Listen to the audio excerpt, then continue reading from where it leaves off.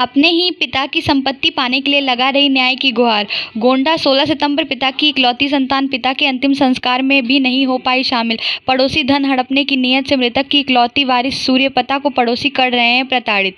पीड़िता के पिता चंद्रिका को पड़ोसी राघव राम नहीं उतारा मौत के घाट। ये आरोप लगाते हुए पीड़िता सूर्यपता ने बताया कि उनके पिता की हत्या कर दी गई और उनके संपूर्ण संपत्ति पर विपक्षियों ने अपना कब्जा बना लिया।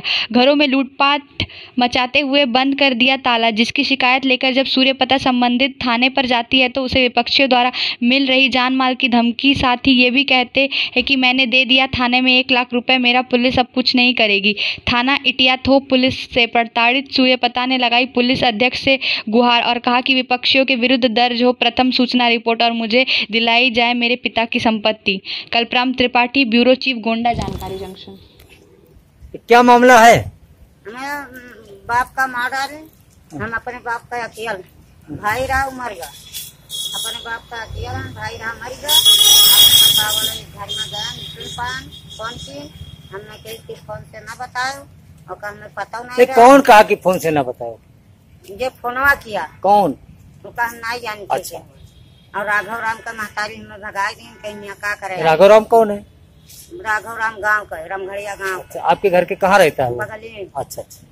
हाँ, तो आपको भगा दिया? हाँ हमका भगाई दी कहीं यहाँ का धरा है। हाँ हाँ। तो जाओ भाग जाओ। आपका क्या नाम है?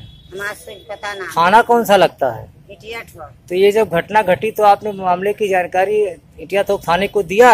हाँ दिहा थाने वाले क्या कह रहे हैं? थाना पे यहाँ गाले एक लाख रुपया कहीं हम भर दिया है और हमारे सुनवाई नहीं आया पाँच छह खेवा हम आन थाने पर। के कहा एक लाख रुपया भर दिया है? राघव राम। अच्छा अच्छा। क्या? बोला हमारे नल खोल लीजिए चौराई लीजिए हाँ, हाँ। और नलको का बोला आए थाना रिपोर्ट के हमें कहीं रुपया दियो हम कहा रुपया ना दियो हमारे चोरी भाई हमें रुपया दिए हमारे राघव राम का लड़का हाँ, हाँ। नल चौराई लीजिए तीन चार जन का साथी वाला गाँव। तो मतलब इटिया थोक थाने वाले आपसे पैसा मांग रहे हैं? हाँ हमसे कहीं कि पैसा दियो हम कहा हम पैसा ना दियो हमारे चोरी भाव हमें पैसा दी। हाँ। राघव राम दस हज़ार डाल उनका दिया नल का।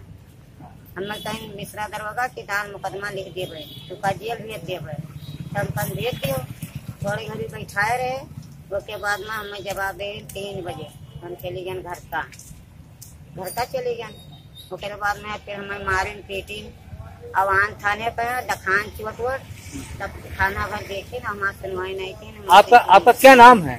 हमारा कुछ पता नाम। तो आप मीडिया के माध्यम से सरकार से क्या मांग करेंगे? क्या मांग करना चाहती हैं? क्या चाहती हैं क्या चाहते हम अपने बाप का धन लिया चाहिए थे अच्छा अच्छा अच्छा। बस धन मिल जाए। आप भाई साहब हम देख रहे हैं कि पीड़िता के साथ आप एप्लीकेशन देने आए हैं। आप कौन हैं?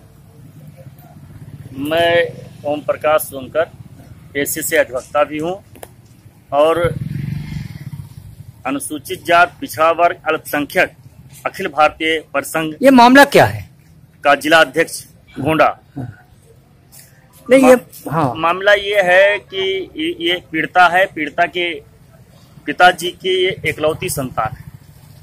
और ये अपने पिताजी की सेवा सहाय घर पे रह करके रामगढ़िया गाँव में करती थी। अचानक ये इसके माँ इसके बहू के पेट में दर्द हुआ पता चला इसके घर से। तो ये लोग जो है ये ये चली आई। तीन दिन के बाद जो है ये तीन दिन के बाद फ़ोन आ, आया इसके पास किसी से किसी ने फ़ोन किया कि तुम्हारे पिताजी को जी की मृत्यु हो गई है और उनको अयोध्या ले जा करके जला दिए। जो इस पीड़िता का जैसा कि कथन है। जैसा कि कथन है। तो उस हिसाब से ये बता रहे कि अयोध्या में ले जा करके और जला दिए इसको सूचित नहीं किए। अरे और ये जब थाने पर दरखास्त दिया तो आज तक एफआईआर दर्ज नहीं किया गया। यानी हमारा ये मतलब मानना है कि उनको इसके पिताजी को जला दिया गया और इसको बताया नहीं गया कि पीएम ना हो पाए। और इसको पूरा ये पूरा आशंका अपना व्यक्त करती है कि मेरे पिताजी को इन्हीं लोगों ने मारा है। और मार करके लाश जला दिया अयोध्या में कि उसका पीएम ना होने पाए और इसको न्याय ना मिल पाए।